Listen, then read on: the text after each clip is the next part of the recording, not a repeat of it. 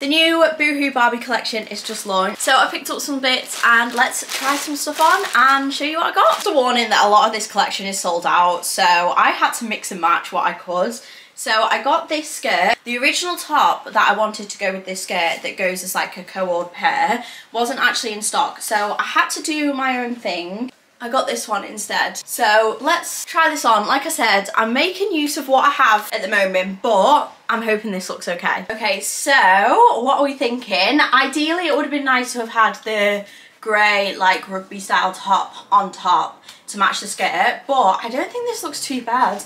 I actually love this. I love the skirt as well. Absolutely love the fit this skirt. The top as well. The best thing about this is that you can wear both of these separately. A little bit like what I've done. I've just mixed and matched two co-ors together, I think. Make sure to leave what I can down below. So, yeah.